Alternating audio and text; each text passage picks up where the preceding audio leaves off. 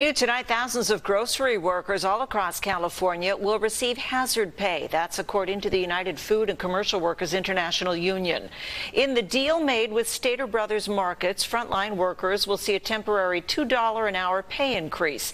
The union says it's a big win for workers who have continuously put themselves at risk during the pandemic.